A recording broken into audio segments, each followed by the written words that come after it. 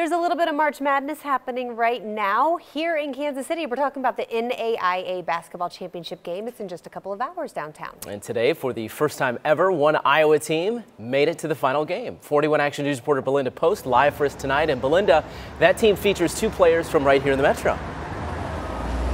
In a few hours, the auditorium behind me is going to be filled with new Blue Jacket fans from right here in Kansas City, and here's why. Graceland University actually has two graduates of Metro Universities, one from Liberty, the other from Raytown, playing on their team, and tonight they've got a shot at a national title. This 6'3 shooting guard is from Kansas City. Will Nelson, a graduate of Raytown High School. Nelson says his team knew they would make it this far. He had conditioning called plyo workouts, and we would we would dream about moments like this. Monday, that dream was nearly cut short for Graceland University. At the half, they trailed Shreveport by 13. That's when Nelson and others stepped the game up. And after playing one of the worst halves of his career, turn around and play one of the best halves. Nelson came back strong. He scored 22 points and had five rebounds.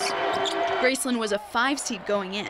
It's a miracle Nelson and Nick Coleman, who graduated from Liberty North, are making it to the final game in their hometown. I know my high school and my teachers are like giving me shout outs on Twitter and really wishing us uh, good luck. About 40,000 people go to the NAIA games. This week means just over $2.5 million for KC businesses. On average, visitors stay in hotels four nights. I think their entire town, Lamoni was here last night. The championship game kicks off here tonight at 7, a tradition that's been in Kansas City now 73 years. We knew that we had a chance to do this, even though we were the underdogs and a lot of people doubted us. Hopefully, we have a lot of family, a lot of alumni from Raytown as well, so hopefully see a lot of familiar faces tonight.